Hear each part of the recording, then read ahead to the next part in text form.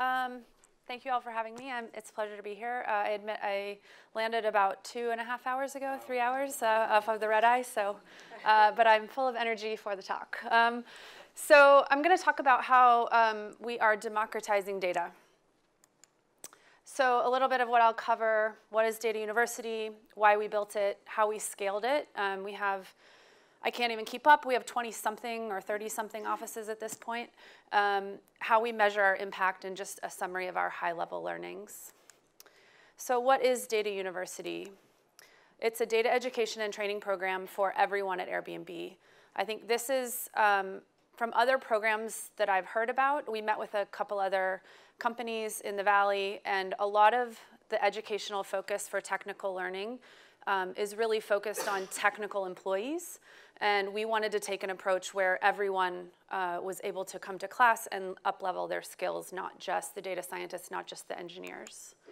So our vision uh, in that vein was to empower every employee at Airbnb to make data-informed decisions, by providing data education that scales by role and team. So it was a really customized approach depending on who uh, was in the classroom. So this goes, I, I, kind of see this as a case study as to what Robin was talking about. Um, it's, we have taken an experiential education approach. Um, I have a background in that from my job previous to grad school, um, I used to do uh, tours around Washington, D.C. with middle schoolers and teach them about leadership through the lens of American history and government. Um, and so we kind of took that approach and applied it to data. So we do hands-on practical learning. Um, we often have classes with people from all different sides of the company. So there's a lot of collaboration. There's a lot of ways that people can learn from each other and what other teams are doing. We use real business examples um, and we have faculty from all over the company as well that can lend their expertise and their, um, uh, their view of um, their roles uh, into the classroom. So a few high-level stats. We're now almost at a third of the company. We've had uh, over 400 classes held.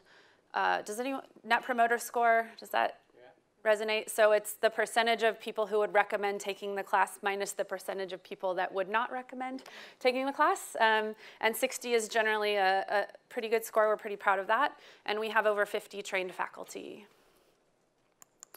So why did we build this? I, um, a little bit of background. I started in 2011. I was supporting the customer service team and I was the only data scientist when I started, or supporting that team. When I started, there were about 100 customer service agents, and then about two or three years later, there were almost 2,000, um, and it was still just me. Um, and so we, we started a little selfishly teaching people data skills so that I could just get a little help. Um, and that's, that's where it started, and, and we started teaching just the hard skills. We started teaching just SQL, querying language. Uh, but what we realized is that without context, um, it really didn't resonate. Uh, so we redesigned this program in 2016 to start with the critical thinking skills and then move into the hard skills. So we really see, this, this is a, a Venn diagram that my colleague uh, put together, which is how we view data literacy. I saw on Ollie's slides it was called numeracy. That's another way to talk about it. Um, and so we see it as the intersection of data education, data access, and data tools. So it, why this is important, we think it really informs decision making. If you know what's happening, um, you can make better informed decisions.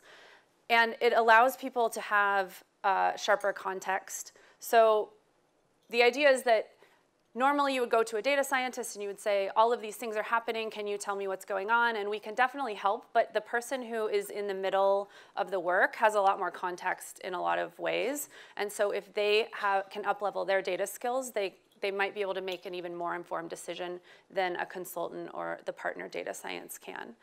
Um, and then also when people know or have access to all of these things, it encourages self-service. So this goes back to my original story of, of getting some help. Uh, it allows people to self-serve and not necessarily rely on uh, data science. We have um, thousands of employees and only about 120 data scientists. And there are even some teams that, that don't have data science support. So it really helped us bring everyone along with us. So we had pretty good data access and data tools. Uh, in 2016, we have a, a, team called our data platform team, and they build amazing tools that are open sourced. Lots of companies use them. Um, and access was there, but we were really missing the education. And, or sorry, we were, we were, we realized that we had the access and the tools, but we didn't have a lot of people using them. So these are two of our peers. We did a survey in early 2016, and we saw that only about uh, a fifth of our company was accessing data tools or using them. And this includes looking at a dashboard. so this made me very nervous when I saw this to know that 80% of the company was flying blind. Um, and so we realized that we had all, we were investing in all of these tools, but we really needed to teach people how to use them. A note about, this is from the, the lawyers, uh, a note about data access and privacy. I just want to point out we follow GDPR. Um, everything's anonymized. We audit and log everything. Uh, access does not mean that you can look anything up. Uh, it, there's no personally identifying information in our data. So back to the presentation. Um, so again, our data tools and access were working well, but we were really missing this component of data education. And what we really needed to focus on was how to problem solve with data, basic statistics, which many people um, who took their last math class in high school or, or university right? Or, or have worked with statistics, right? I think it's something that, and unless you keep up with it, it's pretty easy to, to forget. So we wanted to do a refresher of basic statistics, um, how to actually use our tools, and an understanding of experimentation. Most of the changes that we make to the website, we perform experiments, uh, A-B testing to see how people respond. And, and so it really takes an understanding of how that works before you can move forward with decisions. And then the most important thing, I think, is how to tell stories with data. So when you go into a meeting, you can look at a graph and not just show something, but you can say what is happening, why it's happening. So in summary, we wanted to promote a shared process for problem solving with data. I'm not going to go into the curriculum, but just a high level overview. We have a, a data 100, 200, and 300 level. 100 level is really that um, critical thinking piece. How do you define a problem? Um, how do you interpret a graph? All of these kind of base skills. The 200 level goes into the harder skills, so where we teach some basic SQL and coding skills. Um, we have an Excel class. We uh, teach how to build dashboards in a couple of different programs, and how to do experimentation. And then our 300 level is really for our data science and, and kind of higher data skilled employees to up level their skills. So I'm not gonna go too much, but find me if you'd like to talk more about the curriculum. So I wanna talk about how we scaled it. Um, I'm in San Francisco. Mm, I think, I'm not sure exactly the percent, but a, a large percentage of our team is in San Francisco, but we have offices all over the globe. We have um, our second largest office is actually Dublin. Um, we have Portland, Singapore, those are major hubs. And so what we did is we essentially selected faculty in those hubs and um, those hubs co cover the regional office demand. So we have faculty in Dublin that we trained um, that if there's someone in one of our European offices, they'll either go to that European office or they'll, the people from those offices will go to Dublin for a session. So this is what it looks like. We, we I, I should say we, I traveled to, um, in 2017, last year, um, I was on the road for about three months. Um, and I went to five or six offices and I trained um, a bunch of faculty in each of these three offices. And then our other offices will map to, to the hub offices. We also offer classes in San Francisco regularly, so if someone's traveling to San Francisco, they can sit in on classes while they're there as well.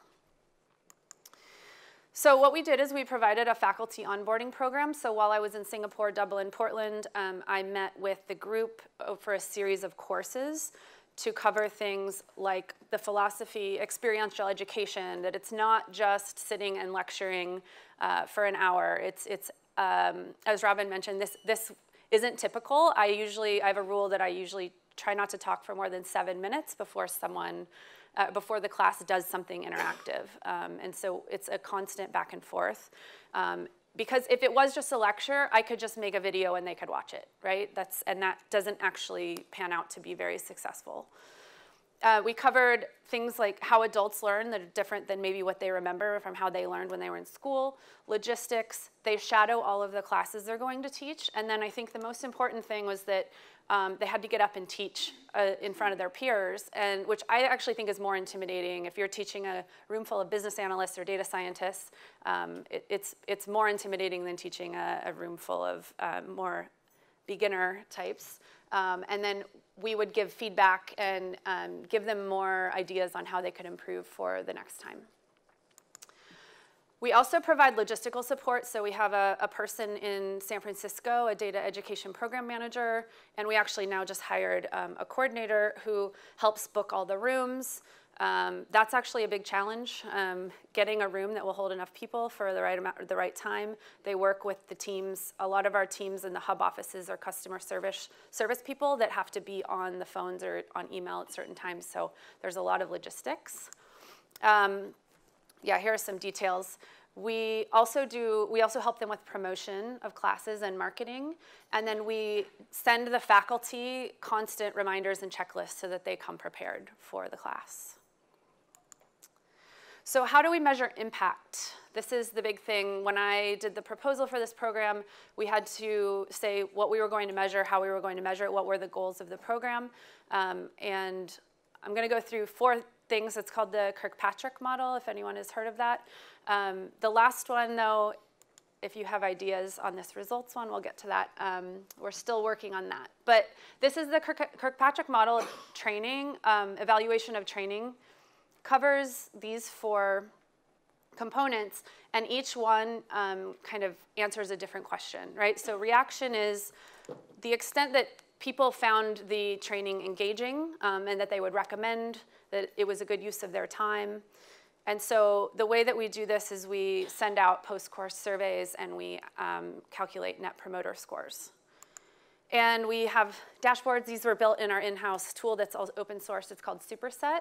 Um, and so these are just some charts showing by class what's our net promoter score, um, what are the most relevant and interesting topics that were covered, what were the least favorite topics that were covered, um, and then it allows us to kind of iterate on that content.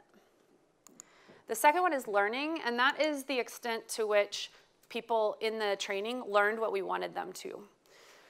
And so what, the way that we measure this, it's a little harder. There's selection bias because um, we do assessments. And we've found that you know, this, the best students are the ones who take the assessments. So we have to find more creative ways to get at this. Um, but we do offer pre and post course assessments and exams. Um, and we also do student projects. So it's a way for us to see, are they, are they achieving the learning objectives that we set out? Here's one of our charts. The, the um, tan color was the before class test and the dark pink is the post class test. So you can see that after the class they did better um, than they did before, which is great. Um, the behavior this one is my favorite one to show because it's been really great. I mentioned that we were seeing, we had all these uh, data tools and people could access them, but they weren't doing it, right? And so what happens when they take this class? So this is the degree to which people who came to the class changed their behavior. So we measure this by an increase in data tool usage. And then we also give a survey every six months that asks people around the company, um, how often do you use data to make decisions? And we can cut that by team and by role and really focus, and then we can also map that to who came to the class and see if there are differences. Um, and so this is one example. Um, we have, so Airbnb is a place where you can book a home, right? Um, you may have heard our, we launched experiences, so you can also book tours, um, you know, food experiences, or all sorts of things. So our experiences operations team um, all of the market managers went through Data University in January and February. We did three sessions, San Francisco, one in Tokyo, and one in Paris. And you can see that about 15% of, uh, of this group were accessing data this data tool, which is basically writing SQL and querying for, um, for data and visualizing that data. You see a big spike during the training session, but then what we've seen is that it just levels off, and it's about a 3x um, return from what we were seeing pre-training.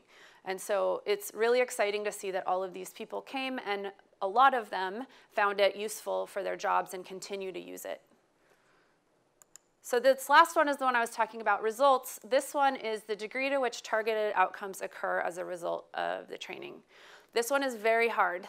Um, my manager asked me, I think it was about six months ago, she pinged me on Slack and said, hey, I was just thinking like we should try to show that people are making better decisions once they go to data university. um, and that's a very hard thing to, to prove, right? Um, we don't really want to do experimentation and say half of the company can come to the classes and half of the company can't. And if you can't, then we're going to measure your level of decision making. That's just not something we, we're not, you know, we're not going to do that. Um, there's a selection bias. The people who come to the class are more interested in the topics, are more likely to be data driven, are probably more likely to be using data. Actually, we know that. Um, and so these are the questions we're trying to answer. We can get at things like increased job mobility and increased business performance, but it, it is a lot harder, right? There's a lot of things to parse out of that. But um, so I don't have a good answer for how we measure this. If you have ideas, let me know. Um, but it, it is kind of the ultimate goal is that people around the company will, we will feel like we are a more successful company because people have gone through this program. So the learnings, these are very high level, but um, this has come up a few times this morning. Context is key. There are lots of programs out there where you can learn SQL, you can learn R, you can learn data visualization, um, but it really doesn't resonate and it doesn't stick if it doesn't map to your job or if it isn't relevant to you. I actually did an A-B test. I did actually do an A-B test with students um, a couple of years ago where I, I had too many students wanting to take the class, so I randomly assigned half of them to a group and I curated content from YouTube and lynda.com and all sorts of online learnings, and then the other half came to class with me. Um, and it was the same content, and the the group that was assigned to engage with the online learning, does anyone want to guess what percent of the group engaged with the content? 30? Engaged meaning they, they watched the videos, they took the exams. It was actually zero. So people say that they really want this content and they, they all the, and I have people from other offices who can't wait, you know, they don't want to wait to go to Dublin for a class or they want, they can't get to San Francisco and they want us to record the video or send them something. And that's what I always go back to is that we had that, we had content curated for you and, um, and in, it's not something that they chose to engage with.